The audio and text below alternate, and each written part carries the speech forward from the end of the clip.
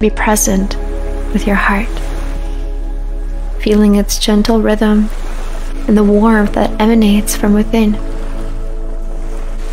Bask in this loving energy that you have cultivated and embrace the infinite wisdom that resides in this sacred space. And as you continue onward with your day, remembering that you are the light. So let your light shine. Let your light shine.